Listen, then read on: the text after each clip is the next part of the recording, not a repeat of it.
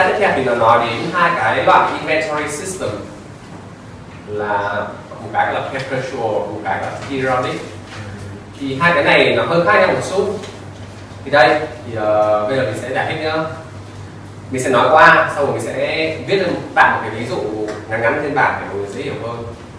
Thì periodic inventory system thì cái à, giá trị của cost of goods sold với cả ending inventory nó sẽ chỉ được tính ở cuối cái năm đấy thôi cuối một cái period thôi. Đấy nghĩa là trong cái năm đấy có nhiều thứ xảy ra, mua bán các thứ linh tinh thì không cần biết.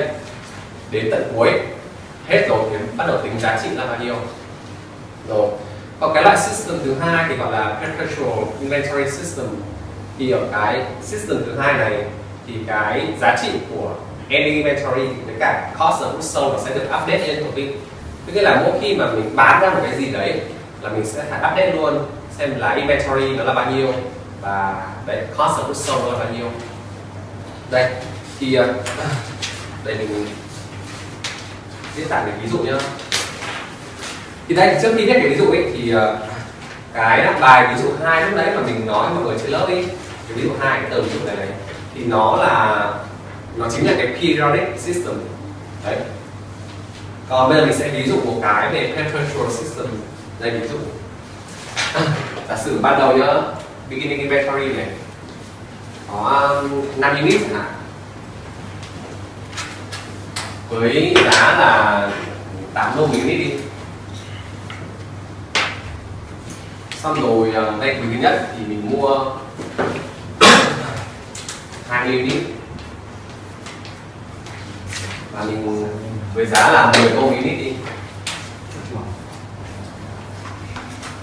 Sau rồi mình bán đi. Hai hai unit. Thấy nhá? Rồi quý thứ hai này. Thì uh, đây mình mua 25 unit. Với giá là 12 và mình bán đi là 20 đi đây thì bây giờ nhá. Đây có gọi chỉ có hai quý thôi thì nếu mà là cái perpetual system,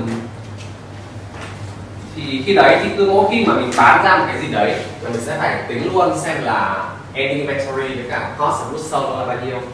Thì đây, tôi giả sử mình dùng LIFO nhá, mình dùng LIFO này. Thì LIFO thì đấy là last in, first out đúng không? Thì đây, thì lúc này, ở quý đầu tiên thì mình bán 22 unit. Tức là mình sẽ chọn 22 cái unit gần đây nhất để mình tính là cost of goods sold thì 22 unit gần đây nhất nó sẽ gồm đây là 20 unit vì thứ nhất này cộng với cả hai unit ở đầu tiên đúng không? Đây. Đây. Đây là cost of mức sâu của quý thứ nhất nhá. Tiếp sang đến quý thứ hai thì uh, mình bán đi 20 unit. Thì mình sẽ đấy mình sẽ lại chọn hai cái unit 20 unit mà mới nhất gần đây nhất để tính là cost of mức sâu. Thì nó sẽ như này thì nó sẽ là 20 nhân 12 đây. Và tổng cái cost of goods sold của hai quý thì nó bằng hai này cộng với nhau. Đấy. Bây giờ quay lại cái system cũ là periodic này. Ờ, đây vẫn là micro nhá. Thì đây thì periodic system thì sẽ phải động đến khi mà hết cái period đấy thì mới tính cost of goods sold với cả ending inventory thì đây, mình sẽ đợi đến tận khi nào xong cái này thì mình mới tính. Thì đây, ở cuối quý 2 đó, thì mình biết được là mình bán tổng cộng là 42 unit, đúng không? Tức là mình sẽ tính cost of goods sold là gồm 42 cái unit gần đây nhất. Mới nhất là mình có inventory. Thì khi đấy, thì cái cost of goods sold của của cái một và hai này sẽ là bằng 25 unit ở quý thứ hai. Cộng với cả 15 unit nhầm 17 unit là thứ nhất. Đây. Đó. Thì cái cục này rõ ràng là nó khác tại cái cục này. Thì đấy đấy là cái sự khác nhau của hai cái system này. Đấy là mọi người hiểu. Thì nói chung là nhìn chung là cũng không có gì đặc biệt lắm. Thì đây thì có một cái vài điều cần nói nốt ở hai cái như thế này. Đấy là nếu mà đây nó là FIFO ấy, chứ không phải là LIFO nếu đây nó là FIFO chẳng hạn thì hai trục này là sẽ luôn luôn bằng nhau. Chứ là không khác nhau nữa. Lý do là bởi vì là FIFO thì nó luôn luôn là first in, first out đi. Tức nghĩa là cái cost ở mức sâu này nó sẽ luôn luôn là những cái cũ nhất đi. Và một khi cost ở mức sâu tính ở những cái cũ nhất, thì mình có tính ở cái lúc này hay mình có tính cái lúc này thì cũng sẽ khác gì nhau cả. Đúng không? Đúng nhá. Đấy. Đó, bởi thế nên là cái hai cái system này nó chỉ khác nhau khi mà không dùng FIFO thôi có nghĩa là nếu mà dùng cái phương pháp average cost này hay dùng LIFO thì hai cái này thì hai cái system này ra đáp số khác nhau. Nhưng mà nếu mà dùng FIFO thì hai cái này thực ra cùng đáp số. Average là khác nhau. Vâng average khác nhau tại vì average thì nó là một cái line ra cái này. Đi đấy cho nên là một khi đã dính đấy average là line của FIFO với cả LIFO mà một khi cứ dính đến cái nào mà không phải là FIFO thì nó sẽ khác đi. Chỉ có một FIFO là nó đúng thôi.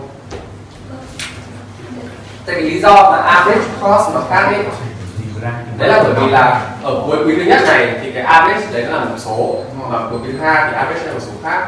Đấy nên là nó khác nhau. Mà nếu như thế là mình sẽ phải tính hai cái average khác nhau. Thì thực ra thì thì cứ khi mà perpetual thì thì vẫn sẽ cứ đây cứ thay đổi phát là phải tính lại average cái cứ khi nào bán thì tìm đây đi. Đây tôi mô hình như thế này. Thì sẽ là average vâng. Average tính đến cái thời điểm đấy. Tính ở thời điểm đấy. Là tổng số cái cost của inventory ở thời điểm đấy. Chia trong cái số lượng unit thời điểm đấy. Thì ra được average. Thì mình chỉ nói mọi người thế này thôi. Chứ trong bài thi thì mình khá chắc là họ không bắt mọi người tính cái này đâu. Mà họ chỉ yêu cầu mọi người hiểu đấy thì họ hỏi lý thuyết là ở cái system nào thì như thế nào? Đấy ví như là FIFO hai cái system này nó ra số khác nhau không? Chẳng hạn thì mọi người phải biết được đấy. Hay là họ có thể hỏi như này chẳng hạn. Họ hỏi là uh, LIFO cái cost of goods sold của LIFO mà dùng perpetual system thì lớn hơn hay là nhỏ hơn cái cost of goods sold của LIFO khi mà dùng periodic system chẳng hạn? Họ hỏi đấy họ hỏi mấy câu như thế nhá thì mọi người phải biết mọi người trả lời được thì đây như hai người nữa ờ, thì nhá LIFO phát sản xuất sâu nhá LIFO phát sản xuất sâu của perpetual này. Với cả LIFO phát sản xuất sâu của Pyramid. Thì cái này sẽ luôn luôn lớn hơn cái trên. Đây cái này sẽ luôn luôn lớn hơn cái trên. Lý do là bởi vì là vẫn coi đây vẫn coi như là giá đang tăng nhá đây tóm lại là thường thì luôn luôn xung là giá đang tăng thì khi mà giá đang tăng ấy thì uh, tất cả những cái càng gần đây nhất thì nó sẽ giá càng đắt đúng không Thế nên là nếu bây giờ có sinh thêm quý 3, quý 4, quý 5 các thứ thì giá của cái quý 3, quý 4, quý 5 này sẽ càng tăng lên nữa đúng không? 8, 10, 12 tăng tăng dần tăng dần lên. Thì khi đấy thì cái pyramid này nó sẽ lớn hơn bởi vì là nó lấy những cái mới nhất đi. Cái xa nhất ở đây. Ví dụ như ở đây nó lấy 25 cái ở đây và 17 cái ở đây. Đúng không? Sau khi cái perpetual này thì nó chỉ lấy có 20 cái ở đây thôi. và đến vì mình giả định là giá tăng đúng không Vâng, để giảm định giá tăng nhưng mà thường thì gần như là đề bài nó sẽ luôn luôn giảm định giá tăng đấy thì cho nó sẽ cho nó sẽ nói cái này nó sẽ cho cái này nhưng mà giả sử nó không cho nữa thì cứ mặc cái như này nhưng mà thường thường như là một trăm phần trăm nó cho đấy? Vâng chung là ừ nó sẽ nó sẽ nó sẽ cho sẽ nói cái đấy. Nhưng mà ý mình là kiểu bình thường mọi người nghĩ người làm thì cứ cứ mặc định là như thế trừ khi là đề bài nó nói khác đi. Nhưng mà đấy nếu trong bài thi nó sẽ nói thôi nó sẽ nói. Đúng thế nhưng mà có phải giả định là cái lưu kho nó tăng? Cái đấy thì cái inventory level mà cái này thì mình cũng không, cái này thì mình cũng không nhớ là trong bài thi là có đưa ra cái dữ liệu như thế không, nhưng mà nếu mà nó không không nói cái câu như thế thì mọi người có thể mặc định là như thế rồi. Đấy. tức là nếu mà inventory level của nó giảm thì đề bài nó sẽ nói là giảm còn nếu mà nó nói nó không nói gì hoặc là nói là tăng thì có nghĩa là tăng.